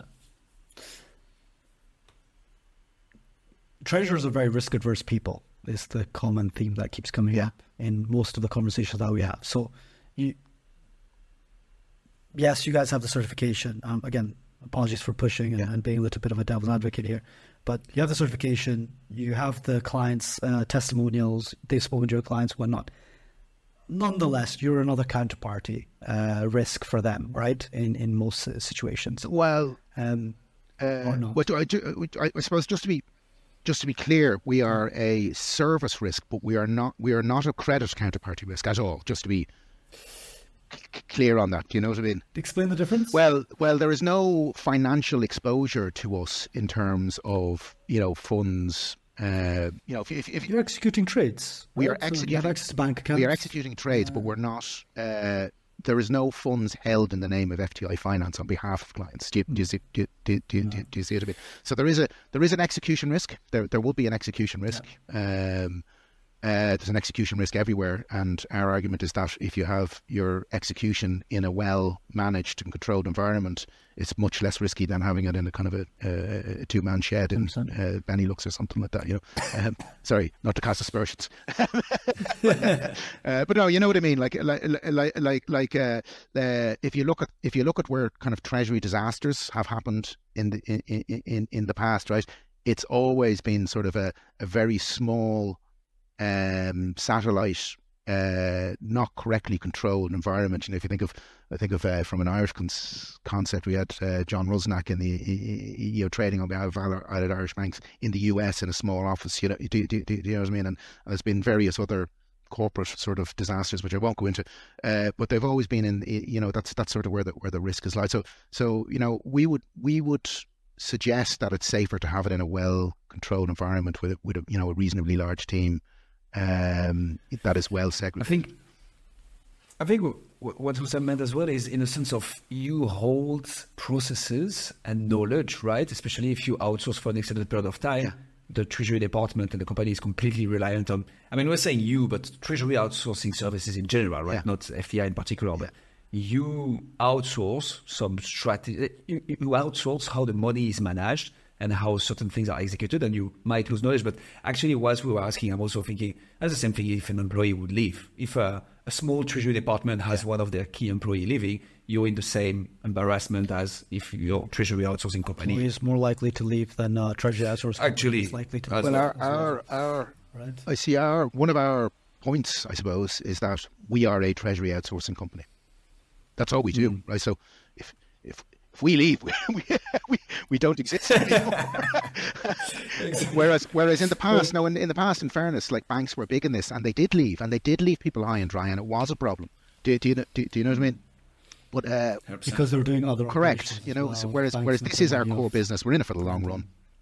Uh, mm. It's a key. It's a key selling point. Um, uh, you know, we have a we have a very well defined strategy in terms of corporate treasury and outsourcing. Um, that is our strategy. Mm-hmm. Uh, you know, if we don't claim to be anything other than that. Uh, we know Mm. it's a niche market, but we believe that we can perform very highly in a niche market, and that's a, a good space for us to be in. You know, um, so yeah, like like I, I, I hear what you're saying, but one of our one of our selling points is that yeah, we, we have this team, right, and you're not exposed to that person leaving. Um, you know, you have this cross trained team of people that are that are doing things. And if at some stage in the future you want to bring it back in house, you're you're dealing with a professional organisation that'll help you do that. You, do you know what I mean? Like uh, we, we're not going to just run away and leave you high and dry. If things change and for whatever reason, like for instance, if one of our one of our clients gets acquired, right? You know, the new acquirer might take the view that oh, no, look, we're we're already managing some of the stuff in house, so we'll migrate that. Grant, you know, we'll we'll we'll we'll, we'll help you. We'll help you get there. We'll Um, yeah, exactly. You know, um, so Long game. it's a you need to tease through the detail to understand um, the risk profile. I think of the of the of the uh, uh, of the business model, and and I, I think uh, from from our from from our perspective, the the, the sort of the, the proof of the pudding is the fact that we're we're dealing with some really really large uh, multinationals, you know, um, with you know massive audit requirements and internal audit, uh, and we pass the muster on all those, you know, and, and before we ever um, uh, well, not always, but generally speaking, before we uh, go live, you know, engage with a client or sign a contract, we're subject to massive due diligence uh, from both kind of a, an IT perspective and a, a kind of a process and internal uh, audit perspective. You know, so sometimes to the extent where you're kind of wondering why, you know, why does he need to know what color my socks are? You know, but look, we're happy to do that. You know, that's the that's the nature of the business. Like, you know. So, so take us through that, and so move over to like, what does it mean for you when a new client comes in? So, what does that look like? I, and indeed, so I guess why we're, we're saying this is treasury is such an integral part of the oil of the company, as you mentioned it before, right? So just and it's what you said as well. Like the, perhaps the only reservation that people have typically with service is just lack of control, almost, that, or the perceived lack of Yeah, control, yeah. right? At the end of the day, if you're reporting very uh, transparently, Yeah. if everything is in place, if they have full uh, transparency into your systems Yeah. whenever they want, uh, if you're complying with all audit requests, then none of that actually exists. Yeah. It's just a perception that hey, how can I have someone else managing my bank accounts? Yeah, but like Um, I, so so we never we as I said we rarely operate in a bubble. Okay, so so like we we have all of our clients we have a boss. It's like a boss, right? And it, you know it, it might be the assistant treasurer, or it might be the, the head trader or something like that. But but he's our boss man, kind of right. Uh, and, and and we we uh, are engaged with that person uh, all the time. and so they're well they're well aware of of of, of kind of uh, uh, what's going on, and they're fully in control. on. We we take direction from them, so they are controlling, right?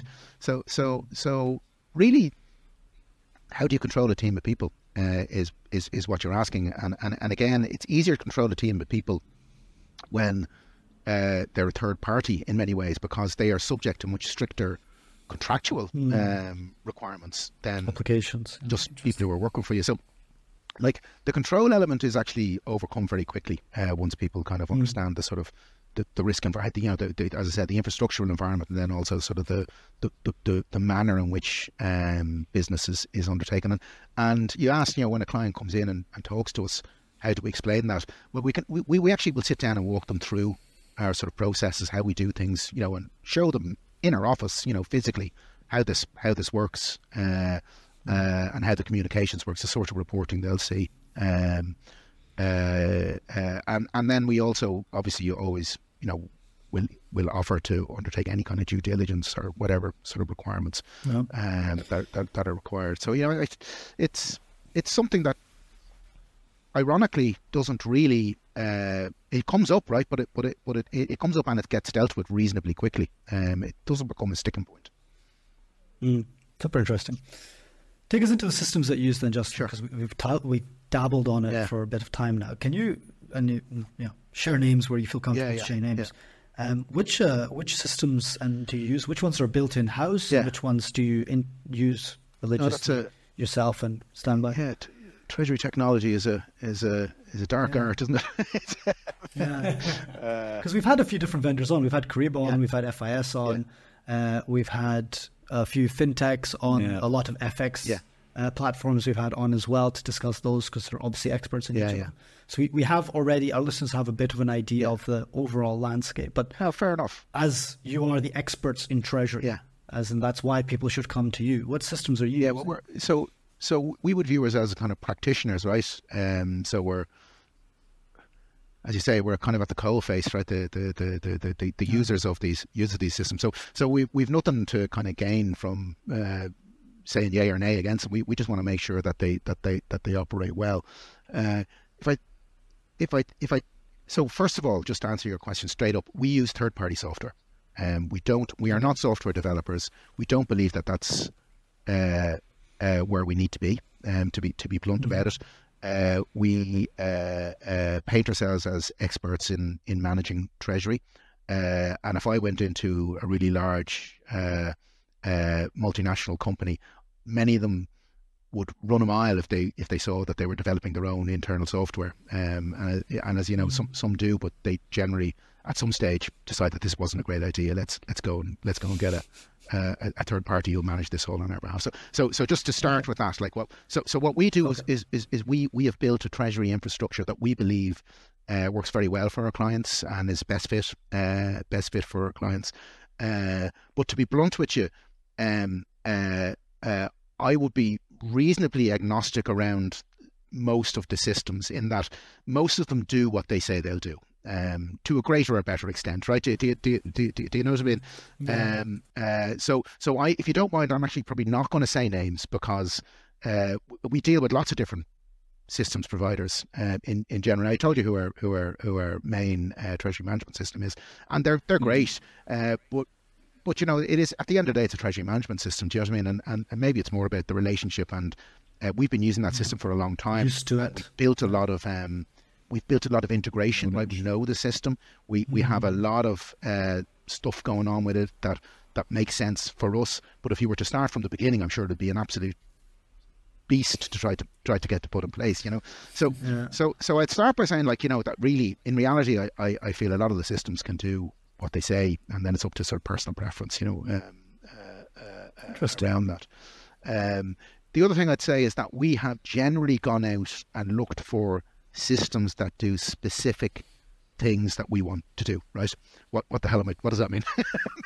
uh, like like like in my books, right? Gone are the day of the treasury management system, right? And it does everything. Uh, you know, like we've become into a much more modular world where you know you have your core treasury management system, but then you have other systems that do other things because they're specialists in that area and they do them really well, rather than just trying to rely on one uh, on one name to kind of to kind of do everything. So so if I if I briefly outline what our sort of infrastructure looks like, okay, so so yeah, we have we have our our core database, which would be the treasury management system um, itself, the, the TMS.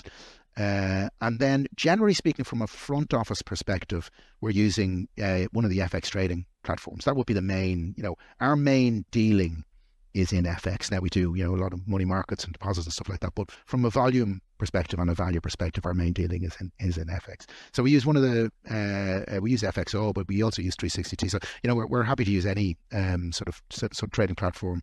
Uh, but if people ask us, just because we have it well integrated, we generally will fall towards the um, the FXall platform. Um, uh, we will have that STP'd directly into our TMS. So trade gets done, gets polled every two or three minutes, I think something like that. So it's almost instantly into our uh, into our treasury treasury management system.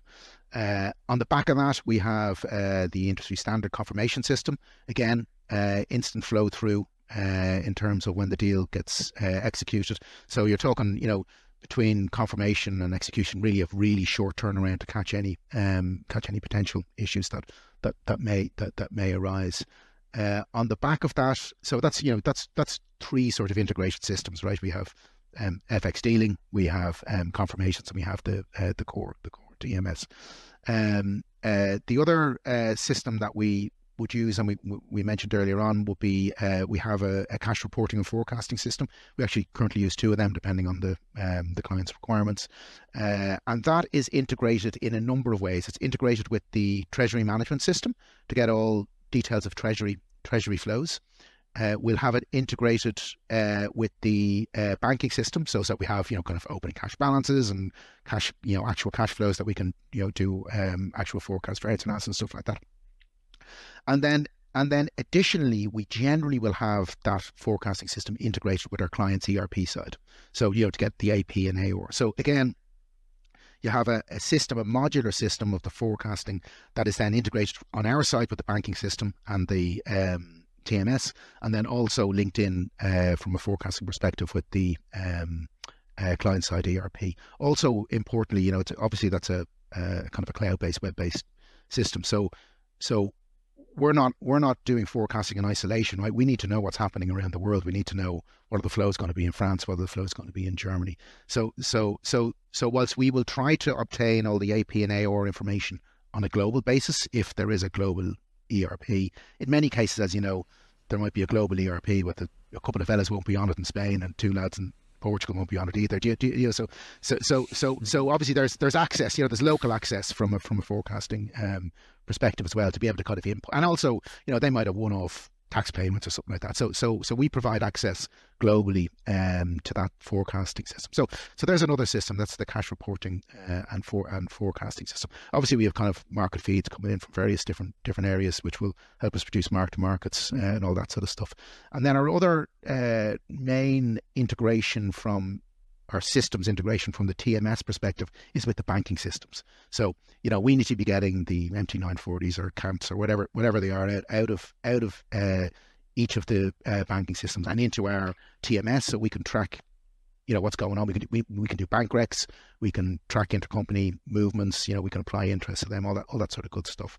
Uh, and on the flip side, we need to be able to get payment files back out of the TMS in there. So so so we're providing all of that sort of in, in environment in terms of the, uh, the, the banking integration.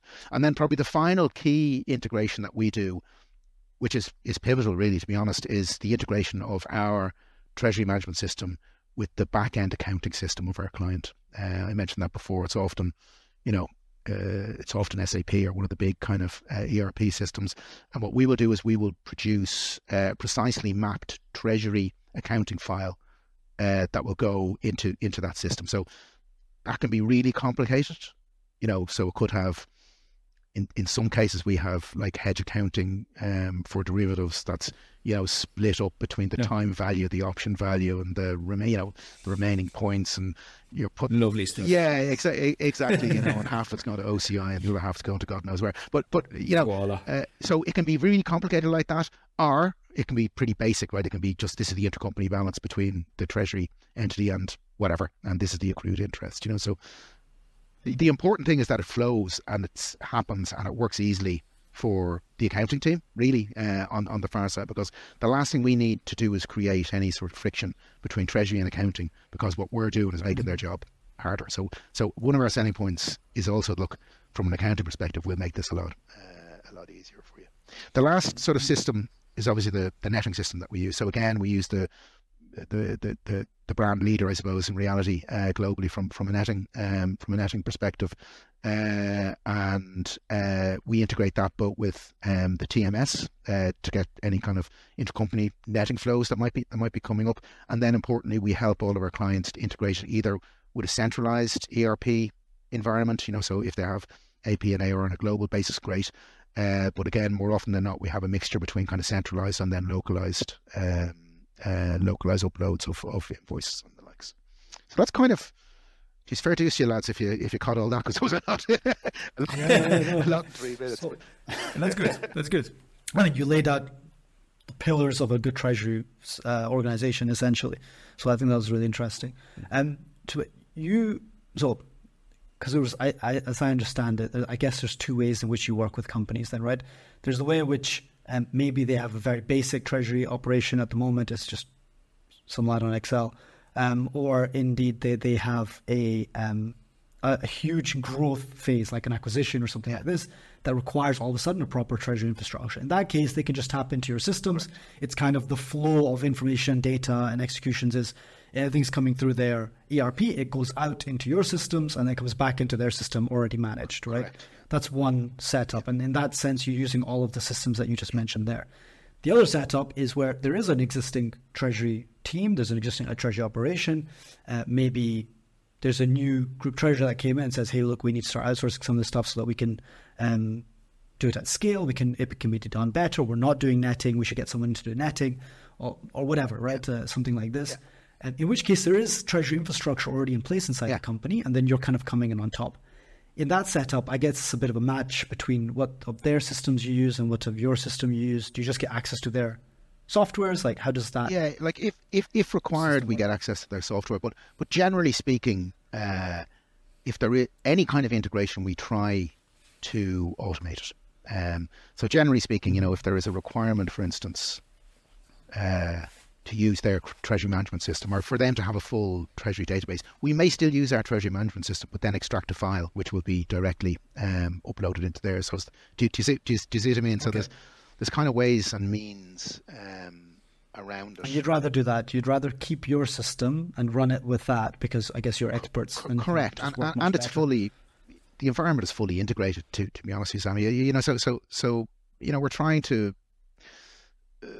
I suppose we're trying to get efficiencies where possible. Um, another thing I, I didn't mention, just to just kind of bring it into the fore as well, is that we have a we have a really significant uh, uh, RPA suite in place. So so robotic process automation um, uh, in place, whereby we are uh, using that to uh, uh, undertake nearly all of our cross application processes, if that makes sense. So so so now when our dealing team comes in in the morning, all of the information that they need from a cash positioning um, perspective is already there, right? So our robots have gone off. They've got all the statements. Uh, they've integrated them into a system. They've gone to the treasury management system.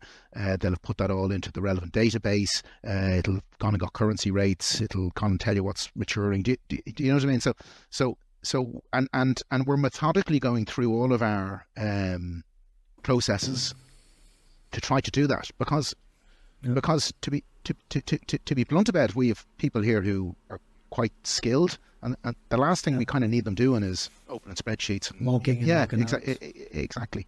So that's something that we've really invested heavily in. It also was a massive risk reduction. You know, there's no fat finger risk um, uh, coming into play. So, so it, it, you know, it, it has multiple uh, multiple benefits.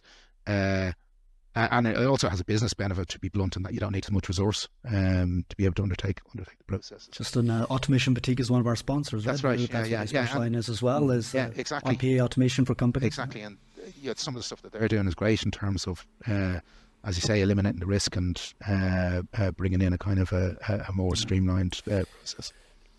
Justin, how does it? Because I, I'm, I'm keep asking myself this question, and maybe some people in the industry will as well. If you use your own system, it means the cash at some point needs to move from the client system or the information needs to move from the client system to your system to then go back to the client system. But so to take a very practical example to understand how it works, if we take the netting part, for instance, yeah. what does it mean that you aggregate? Do you create one instance per client yeah. within your netting system? Or do you say, okay, and that's one of the other questions we want to ask you, we integrate it into the pool of the other clients' data, and then we net everything. So that's major benefits, obviously. But then you mix everybody. Or yeah. how does it work? No, we, we, we, we, we definitely do not do the latter, which is the mixing of everybody. Okay. that's, that's just that's which would make sense. Just a big no-no. Um, to be to, to okay. be blunt, there is no commingling of financial yeah. assets at all. Just to be just to be clear, every okay. every client is very much ring fenced and bucketed within their own legally owned systems, databases, and bank accounts. You know, and they're nothing to do with mm. us. They are theirs 100%. All we are doing is providing an infrastructure and a resource to undertake particular, um, particular, particular process. So, for instance, when we onboard a new, let's just stick with netting because it's, easy, right? Uh, well, maybe yeah. it's not easy. Understandable. I shouldn't say that, should I? yeah, exactly. When we onboard a new netting client, we will go out to our uh, netting software provider and get a new netting database for that client. It, it, oh, you know, do you know, do, do, do, do you know what I mean? And it is specifically for that client the login will be whatever at the client's name. You know, um, it's it's a specific defined database. All of the information flow that goes in there um, uh, will come from client data sources, uh, be them ERP, manual, uh, other invoice systems, what, whatever. uh, and it will only be those clients' data sources, and the net values will only be the netted values of that client. The net values will be trade. Sometimes they're traded cash. Sometimes they're done across, you know, intercompany accounts. So we can do it either way. If they are traded in cash, the trades are done with their clients' counterparty banks in that client's name. You know, execution on behalf of, uh, and then they are settled across that client's bank accounts. So you know, it's very much ring fenced no commingling. Uh, we are just providing an infrastructure and, and a resource to get certain um, processes done. And it's important. It's a good question because it's important that people sort of understand that. No, no, hundred percent. Take us into um, how you like, like. I guess let's stick to the netting example of outsourcing, right? So let's go all the way through to uh, netting uh, outsourcing. A company comes to you and say, yeah. Corporate Treasury 101 is coming to you and saying, hey, Justin, yeah. Uh, we're getting massive with all of our sponsors and our relationships, and we need to start uh, intercompany netting yeah. because we have an entity in different places as well, yeah. and everything like that. Um, and so, tell me what happens internally for you. Do you guys have like a netting expert that is across different clients, or if I also need netting and I need some FX, I need some um, other operations, do I just get my own FTE out of uh, FTI? No, we we, we, we, we, certainly have. Ex- I get the entire team? Exactly. We have experts in in particular areas, and, and we do we do have a netting expert, right? But they will manage the netting process, right? But they don't manage everything to do with it, and that's that's pretty fundamental because any any of the processes that we undertake are subject to the normal segregation that you would expect within um, a treasury treasury operation. So whilst all of our clients will have a main contact, um, okay. That main contact certainly will not do all of the things for a client, if that if that makes sense. Um, so you, you, I mean, you make a good point, right? Netting, right? Um, uh, like for instance, if you're if you're going to cash settle netting, um, you need to actually execute FX deals. So net, now you're not just doing netting, right? You're also needing to have access to FXall and probably a treasury management system. You're probably also going to need access to um, uh, banking systems in order to settle out the netting. Okay, so yeah. so you know you say let's just do a bit of netting. It's a little bit more, a little bit more complicated than that. Now, having said that, right, we, we do have clients who would undertake netting, but then just settle it all on a non-cash basis. So if you think about it, they'll just settle it all across intercompany accounts. You know, create a debit and a credit on a ledger, and instead of having you know, a, a, receivable to Spain and an owable from Germany and a receivable from USD. You'll just have a single you know, you just have a single balance with either an in-house bank or some kind of entity, which is it's a it's a very clean way of managing uh, netting and, and much less complex because now you've removed all of the requirement for um, you know FX dealing, cash settlement, bank uh, uh, integration, and all and all that sort of stuff. So, I mean, we are. You mentioned before that we're plug and play. We are plug and play, right? But everything we do is customized for each client. So, not yep. nothing is the exact same. To be to be blunt, it all looks a little bit similar uh, you know, and, and, and we obviously have economies of scale and benefits of knowing what we do, but none of it's the exact same because everybody has slightly different system requirement, slightly different information flow, uh, maybe keen on non-cash versus cash. You know, it's all just that little bit, uh, that that little that little bit different. So, um, you know, I suppose you you ask like, take us through how does it look? Say for instance with netting like like like like the first thing we need to sit down with a client to do is define what they actually want. You, you know um, like okay you you want netting and that's fine but how do you want that to result? Do you, do you, do you know what i mean? Um, and how do you want that do you, why do you want netting? exactly exactly. Uh, the other thing we would generally do, just to stick with netting, for instance, is we would look for some of the uh, data on the intercompany flows, which will allow us to define what the likely benefits financial um, of netting are. I have to say that when when we implement netting uh, solutions with clients, generally the financial benefits is what starts, but it's all the other benefits that accrue after that that they sort of go, oh, geez, this is great. We're we're centralizing all our cash flows to one sort of day in the month. Uh, we've totally cleaned up our deflated our balance sheet because we don't have a million and one intercompany balances. You know, so so it, it's funny they are often the things that, that lead through. So so defining you know that sort of data flow is is really uh, really important.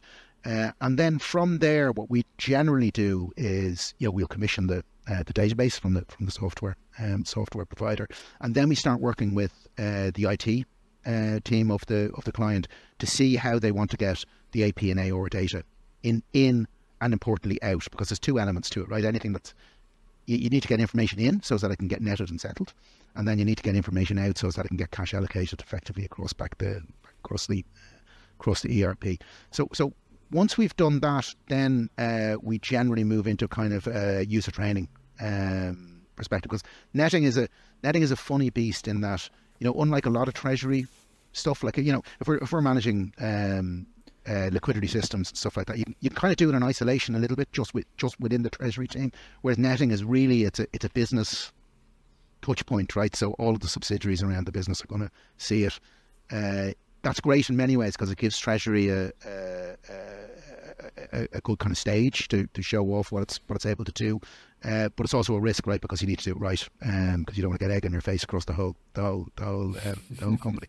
So so so we we would generally manage a, a range of kind of training sessions. Uh, normally we're doing this in global companies, so we, we try to do kind of them across the uh, across the time zones over a couple of weeks, uh, which makes people feel comfortable. You know, they know what's going to happen. Generally speaking, if they're coming from a an environment where they're not doing netting, um, uh, what we try to promote is the workload benefit of this. Right, you know, you're going to have no more recs. Uh, you know what I mean? You're going to have uh, you're going to have all these things settled out. Uh, you're going to deflate your balance sheet, etc., etc. Um, uh, and then uh, effectively we move into the live into the live environment and we run through the netting process. I mean, we have a very well defined manual, what we refer to as a manual, which lays out kind of the, all the steps of each netting cycle. Um, but it's a it's a very smooth process once you kind of get up and running, and people people generally become very comfortable with it within one to two cycles. Um, our clients, in general, would would run a netting cycle every month. That's the sort of general. We've we've then a good few that run a netting cycle every you know twice a month, and then we have a handful that you know do it really frequently, maybe every five days. Sometimes that's uh, if they have a really high volume of intercompany trade that is creating FX noise. They want to clear that off the balance sheet as quick as possible. Do, do, do, do you know what I mean? So, so that would kind of drive uh, some of the frequency. So, so it is interesting. People use netting for different end purposes. Um, you know, so a, it's, an, it's, it's, an, it's always interesting to see why and to understand why a client wants to do that. And so, what's the? Can you? I mean, if I'm because there'll be treasurers listening to this right now. So, what effort is it from me as a treasurer? So what do I need to give you, Justin, so that you can set up miners? So list them off for me. If I want to set up netting today, what are the things that you're going to be taking my time to get done so that I can win my time back from? Yeah, that's that's t- totally fair question. So so so the key from a pure netting perspective, actually, the treasury touch is really light um, because there's very little. Uh, there's there's no treasury touch point really. All, all you all you really need to do is get the AP and AOR, the the intercompany AP and AOR information from wherever. It might be an ERP system, it might be locally input, it might be a local accounting system, whatever. And we generally work with either the uh, centralized IT system or the local finance managers to do that. So, so that's potentially an effort for the on the client side, but not necessarily the treasurer, if that makes sense. Um, uh, uh, the, the the treasury elements come into it if we we need to do the FX dealing and we need to do the um, the settlement, right? So so then, generally speaking, again, we manage most of the setup on the FX trading platform. So generally speaking, all we need is an introduction to the uh, to the banking uh, partners, and as you can imagine, generally speaking, they already know us, right? So it's not it's not kind of it's not new to them um, uh, because, as I said, is that there is a, that kind of concentration of banks that we generally that we generally deal with. Uh, so that's reasonably straightforward. And then the other thing is we need to be set up as users on EB systems. Um, uh, and you know to have all that set up. That, that's really the bulk of the work, client side work. Uh, so it's it's quite uh, light. Would I not have to like uh, we, we need to establish a treasury policy for the netting system, right? We need to establish what are the controls, what is out of what's our risk appetite on it. I guess with netting, it's not really yeah, it's, risk appetite, but there's the whole FX aspect yeah. of it, um, like you mentioned there as well. So I mean, so generally there would be a lot of aligning on what are the for my company, what is my I need to explain to you my business model. I need to explain to you all my subsidiaries, where they're set yeah. up, why they're set up like they are, etc., etc. We need to go through this whole process as well. For, for if we're if we're taking on cash management, that's absolutely the case. Uh, if you're doing yeah. netting and isolation, not so not so much, you know, because okay. there's not really it's just the bank. Exactly, yeah. it's just kind of a it's a it's a flow through, right? It should end up netting by definition should end up having no impact, right? or there's something wrong.